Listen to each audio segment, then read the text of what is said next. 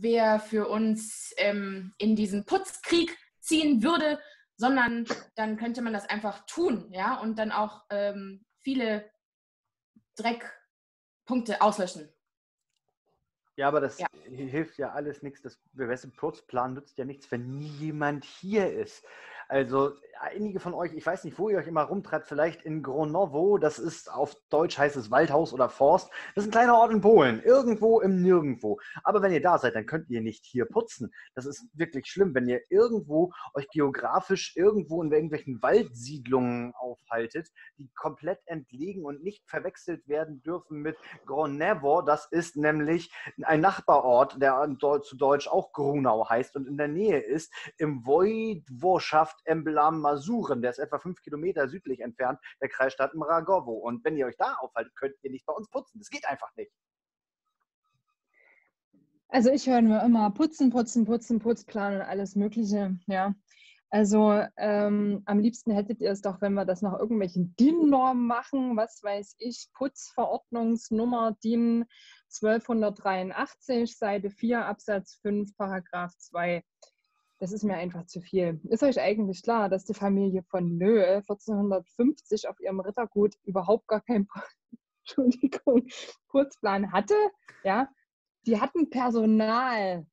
Personal ist das, was wir brauchen. Wir brauchen Leute, die für uns putzen. Dann können wir nämlich auch nach wohin reisen? Nach Polen und können uns dort einen Bunten machen. Also im Grunde ist das alles völlig sinnlos. Wir brauchen keinen Putzplan, wir brauchen Personal. Ich ähm, habe mir das mal angehört. Ich glaube, ich bin oft genug zu Hause. Ich, ähm, mir ist es egal, ob wir Familie sind oder nur Kollegen. Ich glaube, äh, darum geht es überhaupt gar nicht. Ja, ich mag euch so, aber ähm, nee, erstens will ich nicht, äh, will ich nicht irgendwen, ähm, äh, irgendeine Reinigungsfirma hier engagieren, weil wer weiß irgendwie mit was die, was für Putzmaterial, die um, um gehen, also, also die bringen ihr eigenes Zeug mit. Und ich glaube, das ist so das Hauptproblem. Deswegen fasse ich auf jeden Fall auch derzeit nichts an. So, egal ob ich zu Hause bin oder nicht. Ähm, weil das, ist, das Putzzeug ist einfach scheiße. Und da kann ich zu eurer These, zu jeder von eurer These, ja, die Antithese aufstellen. So, These, ich lese das mal vor. These wäre nämlich, das Haus ist rot, Antithese, das Haus ist nicht rot. So. Und bei uns kann man das mal so sagen, das Putzzeug ist okay, aber hier greift die Antithese, das Putzzeug, das Sie benutzen, ist mal nicht okay. So, muss ich jetzt mal sagen. Kameras. Da kannst du mich dann nicht putzen filmen. Frauke, du bist okay, ich bin okay, wir sind okay. Ja? Wir sind einfach wir sind doch eine Familie, Leute, ob nur welches Putzmittel man benutzt, ja, oder wie jetzt die Ordnung genau aussieht oder sowas.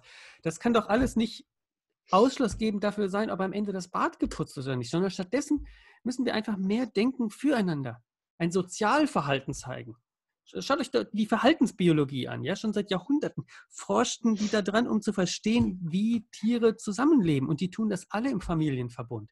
Es gibt Beschwichtigungssignale, wenn jemand in der Brutpflege beschäftigt ist, dann braucht er besonderes auch äh, Rücksichtsnahme und dann gibt es Territorialverhalten. Auch unser Bad ist ein Territorium, versteht ihr?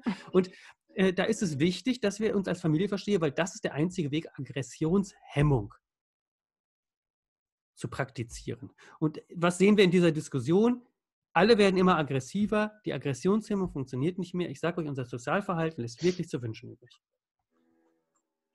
Ja, also ich sehe das ganz genauso wie der Gerrit. Ja, ähm, ich finde jetzt, also ich, ich, finde ja natürlich auch diese äh, Kameras könnten auch zu mehr Frieden führen. Ja, ich finde, das hört sich jetzt bei uns alles schon an, wie zum Beispiel damals ähm, 1871 im Deutsch-Französischen Krieg. Ja, das kommt mir jetzt alles ein bisschen, ich möchte nicht sagen Spanisch, sondern Deutsch-Französisch vor, wie wir uns alle hier miteinander ähm, ja, duellieren, möchte ich gerade schon sagen. Warum machen wir nicht einfach ne, Thesen und Antithesen, ne, Frauke? Also warum machen wir nicht einfach mal so ein großes, ich sage mal so wir können aber sagen Putzplan, wir können auch sagen Versailler Vertrag, ja, und dann unterschreiben wir mal alle drunter. Und zwar wirklich mit ähm, am besten, am besten, wir begeben uns dazu alle an so einen, an so einen wichtigen Ort, jetzt nicht das Bad, sondern eher so Frankfurt am Main zum Beispiel und unterschreiben das mal alles. So ein bisschen, also wirklich einfach so, so einen guten Vertrag und wir sind dann alle, können dann diesen Frankfurter Frieden quasi einfach feiern. Ja, das wäre mal meine, mein Standpunkt jetzt mal. Ja. Ich muss dazu sagen, das finde ich eine hervorragende Idee, denn wir finden, befinden uns im Ausnahmezustand. Also das bezeichnet einen Zustand, die Existenz einer Gemeinschaft oder Staat, also wir quasi, oder die Erfüllung von staatlichen Grundfunktionen wie das Badezimmer putzen, maßgeblich von einer Instanz als akut bedroht erachtet angesehen wird. Und ich glaube tatsächlich, also verwandte Begriffe, wir haben hier einen Notstand in essentiellem Ausmaße bei uns im Badezimmer. Und das rührt daher, dass wir, wie du eben schon sagtest, einfach uns mal zusammensetzen sollten, einfach mal da sein, grundsätzlich hier zu Hause sein. Niemand von uns ist daran beteiligt, weil keiner da ist, um sich überhaupt mal diesem Problem anzunehmen. Und wenn es keine Freiwilligen gibt, sich einem Problem anzunehmen, dann müssen welche bestimmt werden. Und entweder sind wir häufiger hier zu Hause, um Leute zu bestimmen, um diesen Ausnahmezustand zu beenden, der hier hilft, oder wir können das ganze Konstrukt unseres Zusammenlebens einfach mal vertraglich vereidigt in die Tonne werfen. Also wenn ihr alle Frieden und Ruhe wollt, dann geht doch einfach ins Kloster da gibt es genug Möglichkeiten, um sich zu entspannen. Ähm, habt ihr schon mal davon gehört, dass äh, irgendeiner von diesen äh, wirklich großen, bedeutenden Menschen in seinen Memoran, Memoran geschrieben hat, dass sie einen Putzplan hatten? Also ich bin nach wie vor der Meinung, dass äh, der Mensch nicht dafür geschaffen ist, äh, überhaupt zu putzen. Ja, das sind doch alles solche äh, ja, Beschäftigungen, die, die, denen man nicht nachgehen sollte. Man hat doch wirklich Besseres zu tun, ähm, zum Beispiel zu reisen ja, oder äh, Schlachten vorzubereiten, äh, als dass man sich jetzt ums Putzen kümmert. Das, ist, das sind Tätigkeiten, die, die, die, können, die können andere ausführen. Also ich weiß gar nicht, was ihr wollt. Frankfurter Frieden, so ein Quatsch. Ich lasse doch nicht andere meinen Krieg führen gegen Bakterien und Schimmel ich würde es mal mit einem Militärbegriff, nämlich Militär untermauern wollen. Wir befinden uns hier in einer Art äh, ja, äh, Krieg gegen Schmutz. Und da können wir nicht, also ich meine, das können wir nicht outsourcen, an irgendwen geben. Die machen das vielleicht gar nicht so, wie wir das brauchen. Wie gesagt, die benutzen nicht das richtige Putzmittel. Du sprichst von Familie, so, ja, aber dann sollten wir auch füreinander sorgen und nicht diese ätzenden Sachen benutzen, die derzeit in unserem Schrank stehen. So, das kannst du ja mal fotografieren, was für ein Müll da derzeit drin steht. So, und äh, ja, ich, ich, ich begreife das tatsächlich als eine Art Krieg und wir brauchen da einen, äh, naja, vielleicht nicht Putzplan, so, aber wir müssen da schon einen Plan haben, welche, welche äh, Dinge drin stehen, was, was eigentlich, was natürlich abbaubar ist. Und, und so, ich, ich, ich, ich verätze mir da jetzt nicht weiter irgendwie meine Lungen mit dem Zeug. So. Ja. Also, eure Gefühle sind mir wichtig. Gefühle, movere, Emotion heißt sich bewegen. Zum Beispiel auch zum Bad, um das mal endlich wieder ordentlich zu machen. Hm? Ja, also, Emotionen sind Bewegungen, die zu einem Ziel führen, nämlich dass das Bad geputzt ist. Und Gefühle kann man nur ordentlich ausdrücken, nicht wenn man über Krieg daherfaselt, sondern wenn man versucht zu verstehen, was es bedeutet, zusammenzuleben und gemeinsam sich ein Klo zu teilen. Ja, ich meine, wir machen da alle rein jeden Tag, ja, und alles Mögliche kommt da rein. Und das, da müssen wir auch als Familie dafür zustehen. Und es gibt Tiere, die machen ja auch als Reviermarkierung, machen die ja auch sowas um sich anzudeuten, dass sie jetzt hier immer täglich ihr Geschäft machen. Und das ist die Art von Abstraktion, die vonnöten ist und eine Theorie, die da auch hintersteckt, die wir hier an dieser Stelle brauchen. Ich kann nur sagen, unsere, unsere Gefühle müssen und dürfen hier eine ganz entscheidende Rolle spielen. Das ist einfach ganz wichtig in dieser Diskussion. Da möchte ich nur noch mal wichtig darauf hinweisen.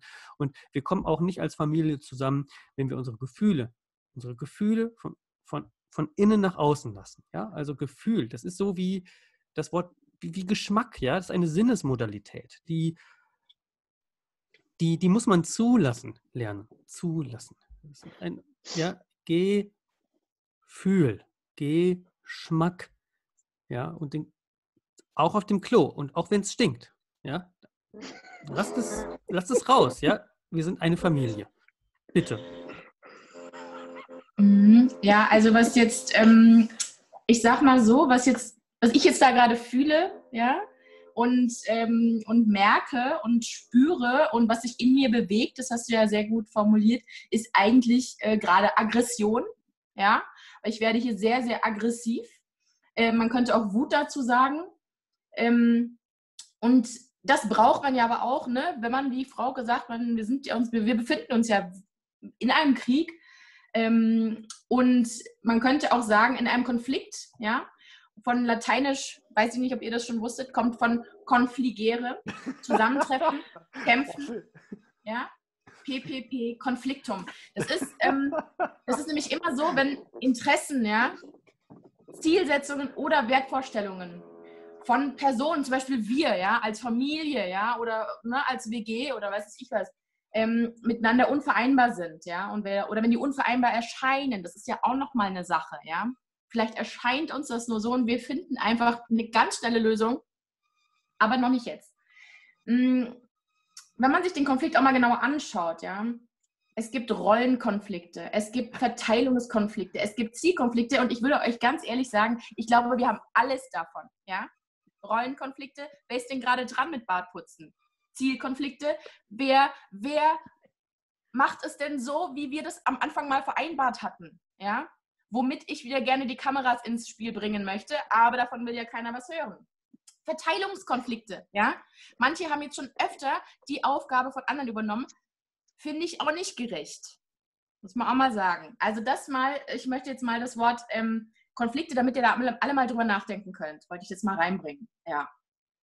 Hervorragend. Ich bin mhm. auch bei Konflikten, die ich reinbringen möchte, aber auf anderer Ebene. Das geht hier zum Beispiel auch, du hast schon sehr schön den Begriff definiert. Ich würde noch den Beziehungskonflikt mit reinbringen, die empfundenen Gegensätze in Bezug auf Verhaltensdispositionen unabhängig. Davon gibt es in der psychodynamischen Theorie noch den Begriff zentrales Beziehungskonflikt-Thema, was wir hier haben, da wir keine vernünftige Beziehung aufbauen können, wenn nie einer da ist. Ihr treibt euch viel mehr in anderen Wohnungen rum als in unserer eigenen. Natürlich führt das auch dazu, dass hier weniger geputzt wird. Natürlich verunreinigt ihr auch deren andere Wohnung, was eure Konflikte da viel eher ähm, machen könnte als hier. Aber wir haben einen Interessenskonflikt in diesem Fall, weil ihr gar kein Interesse daran habt, dass unsere Wohnung vernünftig ist, weil ihr ja nie hier seid. Ich bin ja der Einzige, der irgendwie die ganze Zeit immer hier ist und das Bad putzt mit Putzmitteln, die keiner haben oh, möchte. Ja. Ich finde sie, find sie einigermaßen in Ordnung, aber ähm, der Konflikt hier an sich ist ein Motivationskonflikt, weil ihr einfach nicht motiviert seid, unser Bad zu putzen. Da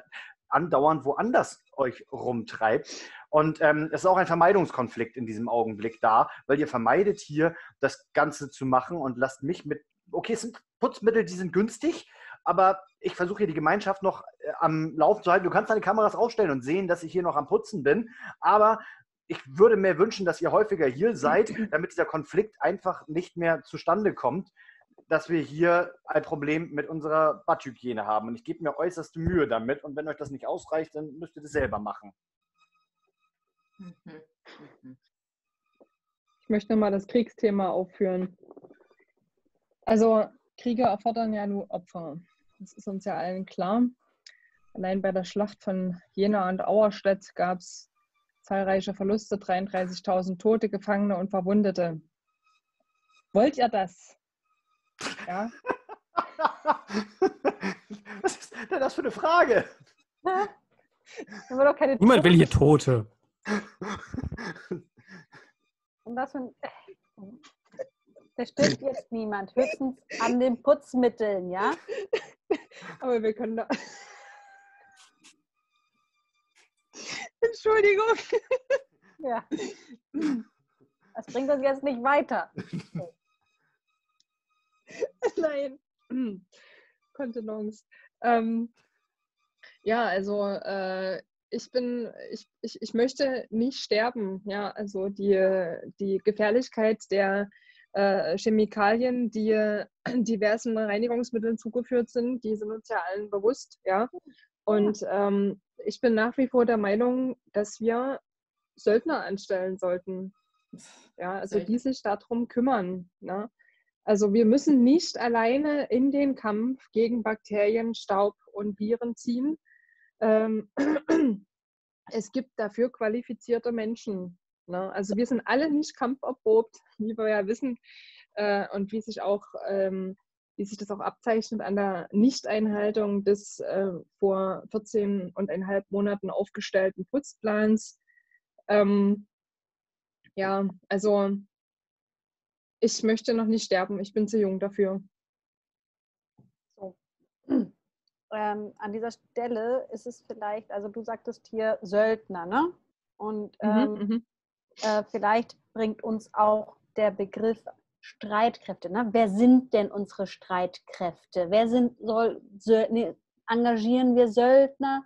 Die müssen so Streitkräfte beschaffen sein. Ich würde sagen, hier Streitkräfte ist die Bezeichnung für eine spezifische Organisation von bewaffneten Menschen, die in Staaten speziell zur Durchführung des äh, bewaffneten Kampfes aufgestellt, ausgerüstet, ausgebildet und geführt wird. So.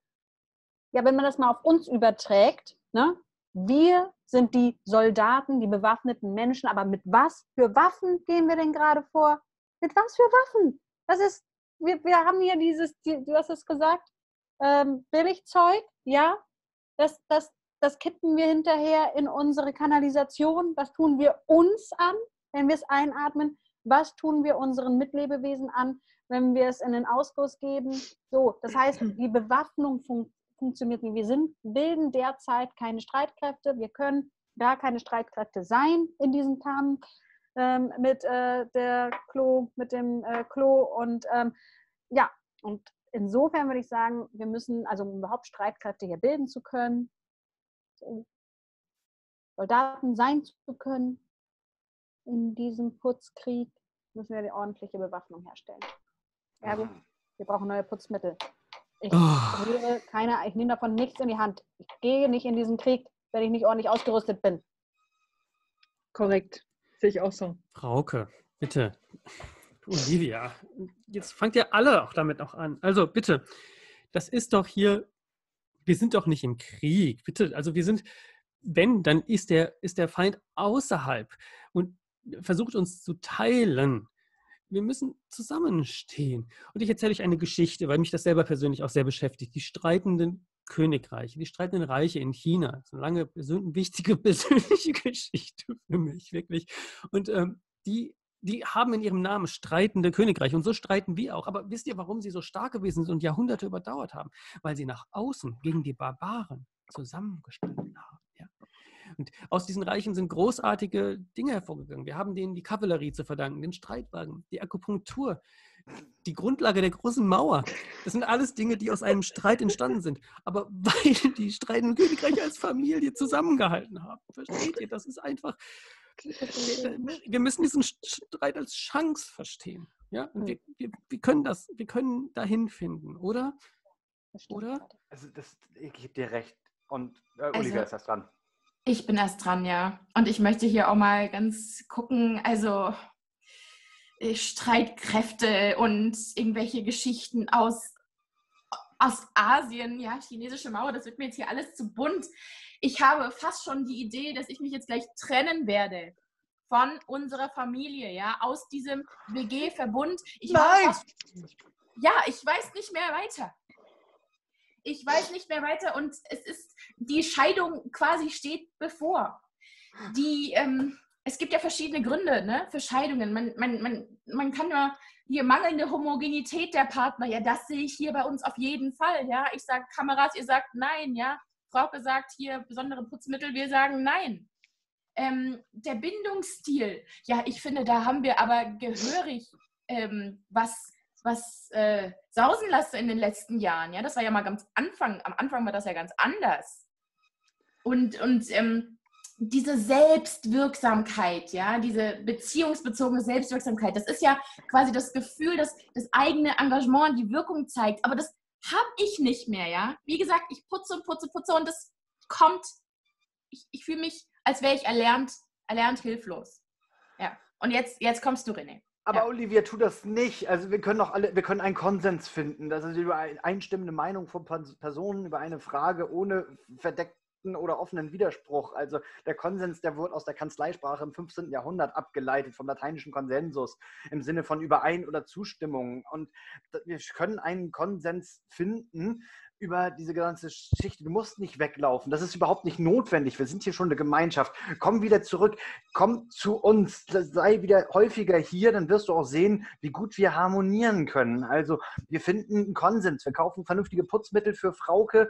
Wir sind eine Gemeinschaft für uns alle. Wir finden da einen, einen Konsens, weil der Konsens im Rechtssystem ist eigentlich auch als Gegenpart zum Dissens im Vertragsrecht zu sehen. Wir können auch einen Vertrag herstellen über unser Putzgeschichte. Ich komme ja entgegen euch alles. Das muss ja hier nicht so enden. Nur ihr müsst einfach dafür hier sein. Das funktioniert nicht, wenn wir hier immer irgendwelche Videokonferenzen machen können. Und ich weiß, auch in den heutigen Zeiten sich zu treffen, ist es wirklich schwer. Aber wir finden einen Konsens, wie wir zusammenkommen. Seid da ganz gewiss. In der Normung wird ja definiert eine allgemeine Zustimmung, durch das Fehlen und Aufrechterhalten von Widerspruch gegen wesentliche Inhalte seitens irgendeines Anteils der betroffenen Interessensgemeinschaften gekennzeichnet ist. Das heißt, weil wir sozusagen, wir müssen uns nur zusammenschmeißen und wir finden eine Lösung für dieses blöde Badproblem. Also Olivia, ich bin voll auf deiner Seite. Ich kann das total nachvollziehen, äh, nachvollziehen und verstehen. Und ähm, ich weiß nicht, vielleicht hast du ja Lust, äh, äh, mit mir ein Bündnis, eine Allianz einzugehen. Ja, das kommt aus dem Lateinischen und bedeutet Verbündete. Ja, Verbündete. Ähm, wir könnten äh, äh, gegen die Achsenmächte, ja, also eine, eine, eine absolut äh, starke Großmacht sein und könnten uns in einem Befreiungskrieg von diesem ganzen Putzwahnsinn und äh, von der chemischen Kampfkeule freimachen und äh, ja, ziehen halt einfach ins Elfenwunderland oder wir tanzen in unserem weißen Leinenkleid im Garten. Also ich wäre für eine Allianz mit Olivia ne? und alles andere ist ja. mir sowas von egal. Ja. ja. Ich bin jetzt so ein bisschen sprachlos. Das ist für mich klingt das ein bisschen nach sozusagen nach, nach einer Fehde.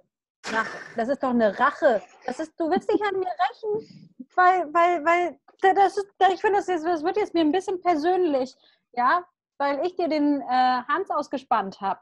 So, deswegen willst du doch, argumentierst du die ganze Zeit gegen mich. Das ist was Persönliches. Richtig? Ja? Jetzt schließt du dich mit der Olivia zusammen? Das, nö. Das, ich finde, das ist, ja, nee, ich finde, ich weiß überhaupt nicht mehr, was ich sagen soll. So, weil ich, ich, ich, ich die ganze Zeit rede ich doch davon, dass, dass ich nicht jemanden engagieren möchte, der widerliches Zeug in uns und du arbeitest komplett dagegen.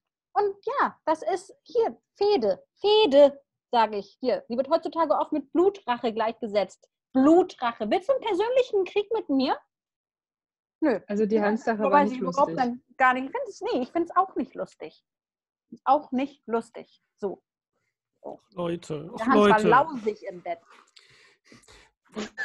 Von Krieg erst reden, jetzt von Scheidung und alte Geschichten wieder aufwärmen. Ich glaube, unser Hauptproblem ist einfach, dass wir einfach in diesem alten Ernährermodell feststecken, in dieser Hausfrauenehe sozusagen.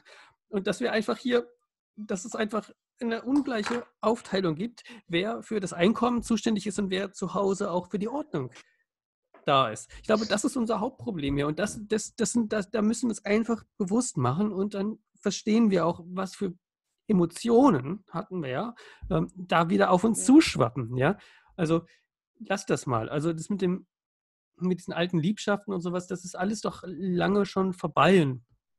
Das, wir können uns doch, wir können doch ganz viele verschiedene Modelle hier fahren. Ob wir hier irgendwie eine Einverdiener-Modell äh, äh fahren oder äh, auch Mehrverdiener-Modell fahren und auch andere zu Hause bleiben. Wir müssen einfach gucken, dass wir für alle selbstverständlich das Armutsrisiko niedrig halten und dass wir uns nicht einem starken Ernährermodell irgendwie unterordnen, sondern dass, dass wir das gleichberechtigt machen. Das ist doch wichtig. Und dann, dann ist Badputzen Hausmannskost. Also wirklich. Das, ist, das, wird, das wird alles viel einfacher noch. Oder? Olivia, bitte, nicht ausziehen. Ja, also, ja, also ich finde es jetzt ganz schwierig. Natürlich möchte ich mit Susanne hier gerne, ja, sehr gernstens eine Allianz bilden. Ja, es ist natürlich auch schwierig, hier Frauke da so völlig äh, vorne ähm, ja, außen vor zu lassen. Das möchte ich natürlich auch nicht. Wobei, ich sage euch ganz ehrlich, ähm, mir geht es hier jetzt bald um die Ehre.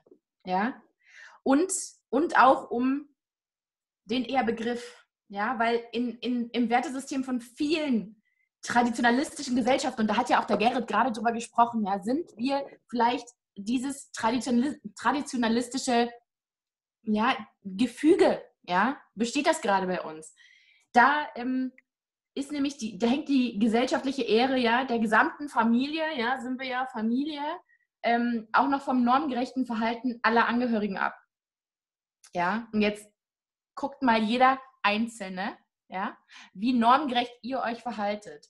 Und da geht es gar nicht um Allianz oder da geht es gar nicht äh, hier um Krieg oder Fehde oder weiß es ich was, sondern es geht einfach um die Ehre. Und ich finde auch jemand, der ähm, putzen muss und es dann nicht tut, der verletzt unsere Familienehre. Ja? Und ihr wisst, was darauf steht, vielleicht in so einem traditionalistischen Modell wie dem unseren. Also, ich äh, plädiere nochmals, ja, weil ich dieses Wort nicht aussprechen möchte, was dann passieren könnte, wenn die Ehre verletzt wird, plädiere ich nochmals für ganz easy, mehr Kameras. Ja? ja, kann man so vielleicht sehen, aber ich bin da etwas anderer Meinung, das Ganze. Aber da wir ja auch kurz vor Ende sind, also wir müssen uns mehr mit der politischen Theorie auseinandersetzen des Ganzen, was wir hier machen. Das ist eigentlich schon Politik an sich, die wir haben, weil wir einzelne Stadtpunkte haben. Wir sind einzelne Fraktionen, die sich hier mit unterschiedlichen Ideen beschäftigen und deswegen macht es einfach Sinn, wenn wir mehr zusammenkommen. Also äh, je nach Institut wird das auch politische Philosophie sogar genannt oder Theorie und Ideengeschichte der Politik. Und wir sollten uns mehr koalieren und zusammentun und da keine riesige Politikwissenschaft draus machen, sondern einfach mehr hier sein, um wirklich das in die Hand zu nehmen. Nicht nur theoretisieren das Ganze, sondern auch praktisch in die Tat umsetzen. Denn das, diese ganze politische Ideengeschichte gibt es schon seit der griechischen Antike und seitdem haben sie immer wieder mit Problemlösungen zu tun und das sollten wir auch machen. Nicht einfach so viel drumherum reden, sondern mal lösungsorientiert das Ganze betrachten und einfach grundsätzlich anfassen. Einfach machen und nicht so lange drüber reden. Ich mhm. glaube, ich nehme jetzt einfach Putzmittel und putze jetzt das Bad und dann machen wir das. Ja, haben wir keine Lösung, aber dann ist das Bad wenigstens sauber. Und ich glaube, dass wir auch hinterher nicht diesen Streit einfach nicht beilegen können, weil ich glaube, zum Streit kommt es einfach so nicht. Da braucht man ganz andere Mittel und Wege, um hinzukommen. Man kommt also zu keinem vom Konsens, man kommt von der Ehre. Ich glaube, zu Streit, also ist es ganz schwierig, da hinzukommen. Ich glaube, ich putze jetzt einfach. Mhm.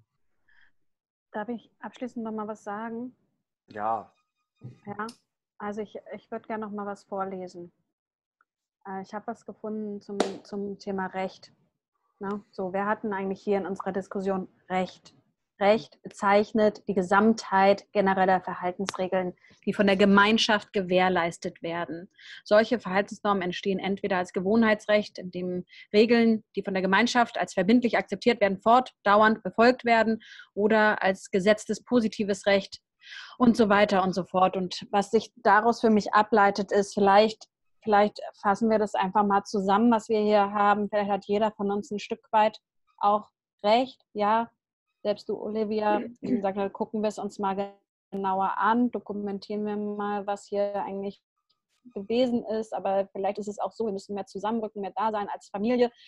Ich, das mit dem Outsourcen ist immer noch so eine, so eine Frage, ähm, aber vielleicht outsourcen wir das, indem wir sozusagen das tatsächlich mal wieder rei umgehen lassen. Und ich würde einen guten Schritt dafür tun und zumindest mal äh, outsourcen und uns beraten lassen, dass wir Putzmittel haben, die abbaubar sind. So. Ähm, und, ähm, und wenn wir das richtige Putzwerkzeug haben, dann können wir auch wieder eine Familie sein, mehr miteinander tun, äh, Olivia, vielleicht zeigst du einfach mal irgendwie, äh, wie der Schrank vor äh, 14,5 Monaten aussah. Du hast da ja schon fotografiert, dass wir das auch wieder ordentlich hinkriegen. So. Mhm. Um, und ich würde auf jeden Fall gerne wieder zusammenrücken. Und vielleicht holen wir uns auch mal einen Profi, der uns berät. Und so weit würde ich auch mitgehen ähm, mit deiner Meinung. Ja, dass wir jemanden uns von außen holen. Einen Söldner meinetwegen so, wenn deiner. Also ja, meine Güte. Aber vielleicht haben wir einfach alle recht. Ich, ich würde äh, das noch abschließen, die Runde. Ähm, ja, also im Grunde habt ihr mich jetzt auch überzeugt. Also ich habe dir die äh, Sache mit dem Hans zwar sehr übel genommen, Frauke, ja, und äh, Olivia, deine Ansicht fand ich jetzt schon ein bisschen fatalistisch mit dem R-Begriff. Ja, das ist ja auch so ein bisschen negativ konnotiert. Also. Ja, also ja, aber ich möchte jetzt, ich möchte jetzt auch mein, mein, mein Wirtschaftsembargo, ja, dass ich euch die finanziellen Mittel gekürzt habe bezüglich der Beschaffung von äh, Putzmitteln, das möchte ich jetzt zurücknehmen. Ja, also wer will, kann gerne äh, das, so, das, das äh, so viel Putzmittel einkaufen, wie ihr wollt. Ja, Embargo kennt ihr ja. Wir können das teure Putzmittel. Spanischen. Ja, bitte nur Bioputzmittel. Ne? Äh, ja, aber man kann zur, zur Reinigung der äh, Kaffeemaschine kann man auch einfach nur ähm, äh, ja, Zitrone, Zitronensaft nehmen oder so. Ne? Ja. Wie dem auch sei, ich würde jetzt äh, hiermit mein Wirtschaftsembargo zurückziehen ja, und die finanziellen Mittel wieder fließen lassen, damit wir nicht, ja, wie das äh, vielleicht auch passieren könnte, dann irgendwann wieder in so eine Art Steckrübenwinter, Steckrüben, Steckrübenwinter geraten, ne, wie das damals im Deutschen Reich gewesen ist, wo ein Drittel der Lebensmittel importiert werden musste, was ja auch nicht so richtig gut ist. Ja. Also ich denke, wir haben zu einem Konsens gefunden und äh, Oh, sie hat einen Daumen gemacht. und sind wieder eine Familie. Ja, wir ah. sind wieder eine Familie. Ach, wie schön. Cool. Danke fürs Spielen. Danke.